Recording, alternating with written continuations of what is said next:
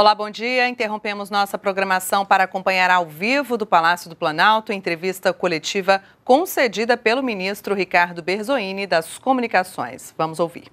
Reunião de coordenação hoje com o objetivo de discutir a pauta política da semana, debate sobre os assuntos que estão na pauta da Câmara e do Senado. E tratamos também um pouquinho da repercussão que a apresentação da proposta de orçamento teve no aspecto político, é, principalmente levando em conta quais são os dados concretos de despesas discricionárias e obrigatórias e a comparação com anos anteriores. Eu acho que uma coisa importante que foi bastante representativa na discussão da coordenação política é o peso das despesas obrigatórias no projeto de lei orçamentária, que é uma característica estrutural da economia brasileira. Nós achamos importante é, trabalhar em comunicação com o Congresso e também com a sociedade, que nós temos uma construção orçamentária bastante condicionada pelos dispositivos constitucionais e que o governo, pelo compromisso que assumiu durante os quatro anos do primeiro mandato da presidenta Dilma, com investimento em estrutura social e infraestrutura logística, tem a obrigação de dar curso ao pagamento daquilo que já está realizado, a continuidade com priorização daquilo que está em curso e, principalmente, o planejamento daquilo que vai ser contratado no futuro de maneira totalmente alinhada com a estratégia fiscal da área econômica do governo. Então, esse foi um pouco o debate que a gente fez, qual é o, o ambiente para a tramitação do orçamento no Congresso, a necessidade de aprovação de propostas importantes como a DRU, a renovação da DRU e a LDO, e também continuar envidando esforços para que não se aprove nenhum projeto que tenha impacto orçamentário, porque isso significa, na verdade, o compromisso com essa transparência fiscal que foi demonstrada pela apresentação do projeto de lei orçamentária na última semana.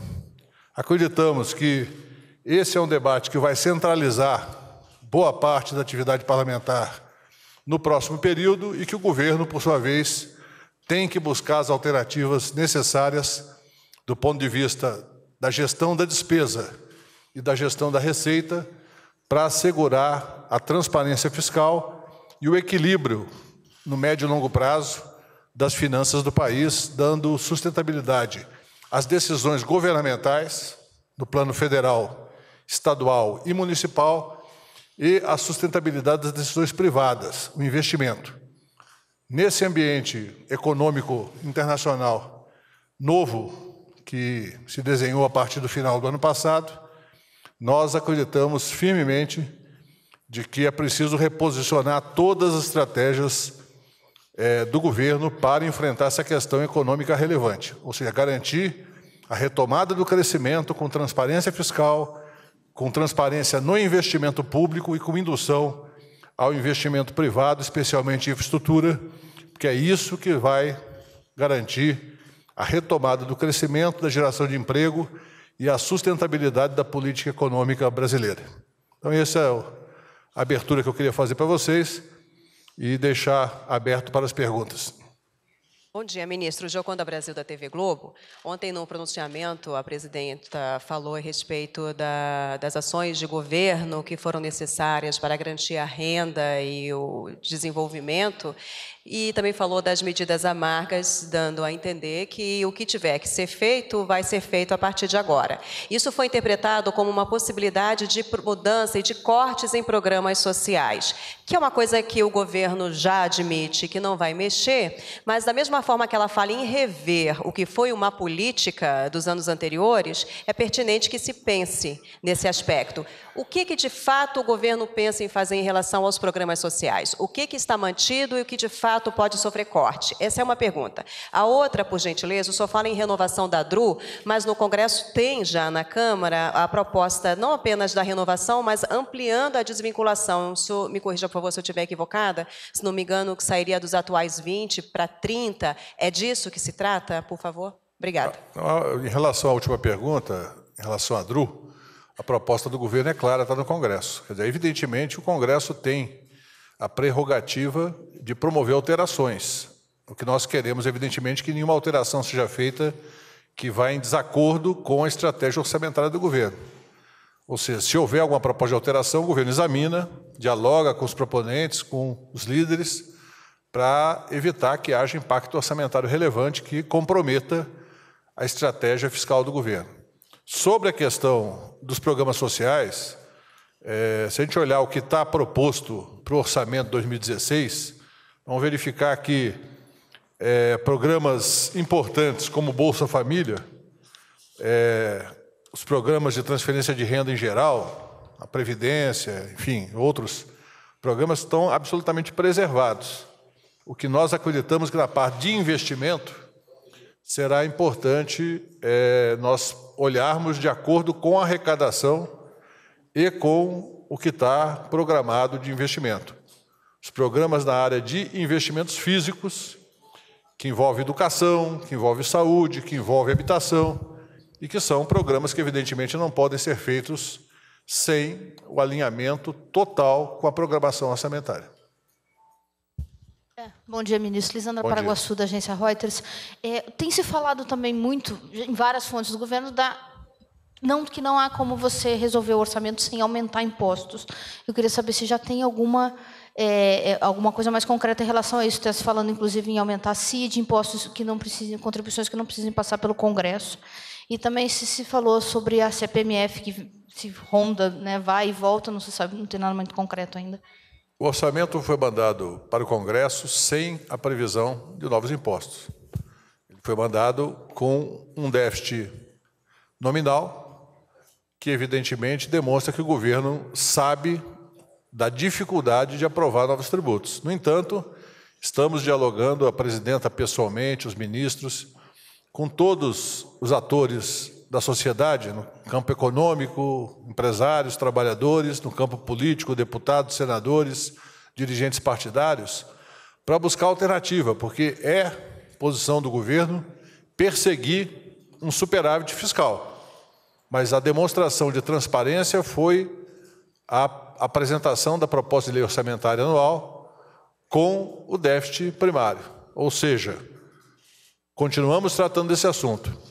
Não vamos abrir mão de buscar alternativas.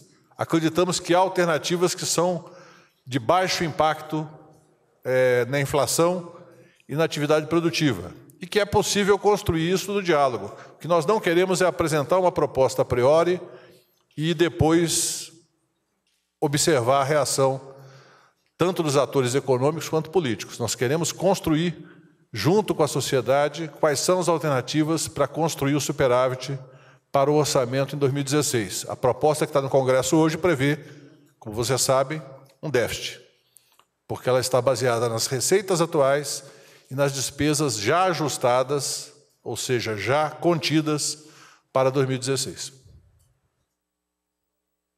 Bom dia, ministro. É Marina Mota, TV CNT. Essa foi a primeira reunião da coordenação depois das investigações contra os ministros Mercadante e Edinho. É, isso foi tratado na reunião? Tem uma preocupação de como isso abala diretamente o governo, a presidente? E a posição continua firme de que eles continuam no governo, apesar das investigações? Bom, não, não, não, não foi tratado nessa reunião, não foi sequer tocado o assunto.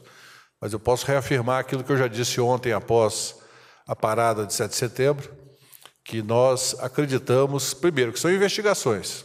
Como investigações são aquela fase inicial em que tanto pode resultar em arquivamento como em outro encaminhamento. Segundo, são pessoas que nós temos toda a confiança pelo seu compromisso, pelo seu comportamento e que não há nenhuma razão, somente pela abertura de investigações, para haver qualquer abalo na confiança da presidenta e dos ministros que são companheiros de ministério no Edinho e no Mercadante. Reforma ministerial que deve acontecer em breve, é, existe essa possibilidade? A presidenta falou em reorganização administrativa, que evidentemente pode atingir a estrutura dos ministérios e seus titulares. Então, essa reorganização a presidenta vai apresentar quando estiver concluído o trabalho é, conduzido pelo planejamento. Mas não há nada em relação a pessoas, há em relação à estrutura dos ministérios, que foi uma decisão já anunciada pela presidenta, faltando anunciar o conteúdo. Ministro Isadora Peron, do Estadão. É, a gente, o Estadão deu hoje que a presidente assinou na semana passada um decreto que tira poder dos militares e passa para o Ministério da Defesa. É, foi discutido esse decreto? A, a presidente explicou por que tirou isso da gaveta agora? Tem alguma chance dele ser revogado? Eu queria que o senhor falasse um pouquinho sobre ele. Não, não isso não foi objeto de discussão. Eu sugiro que seja consultada a área econômica e o Ministério da Defesa para prestar esclarecimentos adicionais. Ministro Raquel, da agência CMA, o senhor falou mais cedo que a questão dos investimentos em saúde, educação, habitação, isso tudo depende da arrecadação. Foi tratado nessa reunião e já existe algum estudo no governo a respeito do programa Minha Casa Minha Vida 3, que está para ser lançado agora dia 10. Há especulações de que o programa pode ser adiado. Isso foi discutido de alguma forma?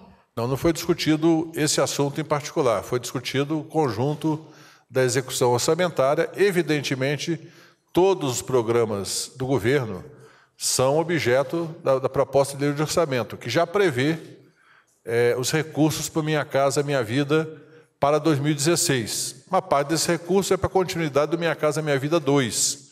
Outra parte certamente será para Minha Casa Minha Vida 3. O ministro Gilberto Kassab, quando estiver é, definitivamente desenhado qual vai ser a estratégia do Minha Casa Minha Vida 3, vai certamente divulgar para toda a imprensa e para a sociedade, porque é um programa que, só para vocês terem ideia, ainda tem mais de 1 milhão e 400 mil casas ainda para serem entregues da fase 2. Ou seja, um programa de grande impacto social, grande impacto orçamentário, e a fase 3 certamente vai ser a continuidade disso, evidentemente ajustada à disponibilidade orçamentária. Eu não creio que haja nenhum adiamento, mas há simplesmente essa fase final de alinhamento do programa com o orçamento da União. Pessoal, obrigado. Obrigado, gente.